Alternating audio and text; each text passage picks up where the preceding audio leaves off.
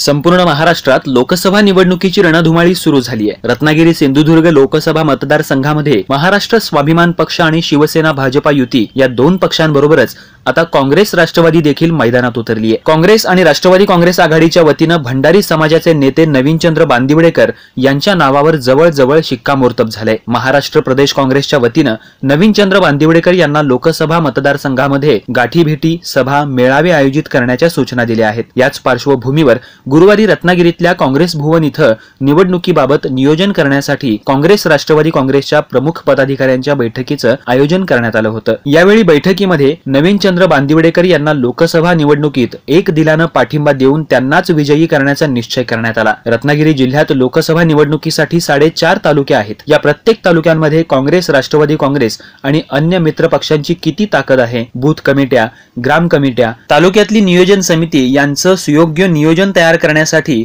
एक नियोजन समिती तयार करण्यात आली आहे यामध्ये काँग्रेस आणि राष्ट्रवादी काँग्रेस तसंच ओबीसी संघटनांच्या काही प्रतिनिधींना समाविष्ट करण्यात आले येत्या दोन महिन्यांमध्ये लोकसभा निवडणूक निवडणुकीत काँग्रेस राष्ट्रवादी काँग्रेस आघाडी जोमानं प्रचारात उतरेल आणि देशात काँग्रेस आघाडीची सत्ता प्रस्थापित होईल असा विश्वास नवीनचंद्र बांदिवडेकर यांनी बैठकीवेळी व्यक्त केला.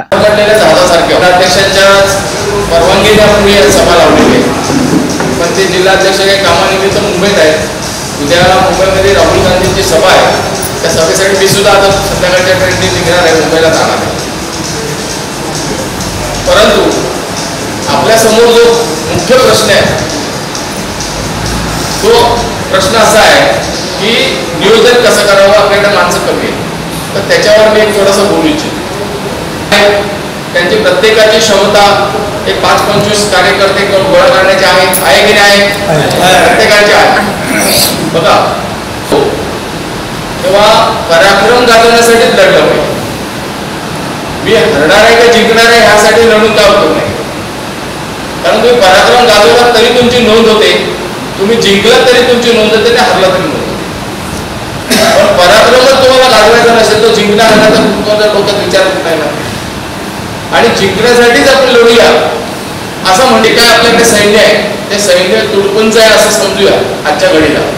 पण सगळ्यात जमेची बाजू अशी आहे की आपला जो मित्र पक्ष आहे युतीचा त्याची तयारी आपल्यापेक्षा खूप बरी आहे.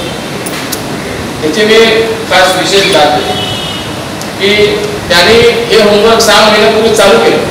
तसं बघितलं तर ह्या जिल्ह्यात त्यांचा म- वाट्या त्यांच्या वाटणीला हा मतदारसंघ नाही आहे तरी सुद्धा त्यांनी उद्या आलाच तर पूर्वतयारी म्हणून ते सहा महिन्यापासून त्यांनी काम आपल्या आपल्या तालुक्यात चालू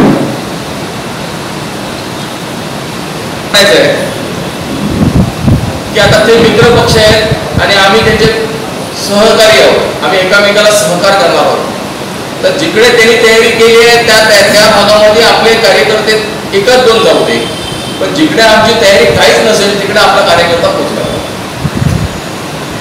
आता नियोजनाच्या बाबतीत ताईने सांगितलं आम्हाला गाडी बिडी मिळाली चांगलं आहे. तर तुमच्या माहितीसाठी सांगतो ताई तुम्हाला एक महिलांसाठी आम्ही एक वेगळी गाडी एक सेपरेट गाडी असणार.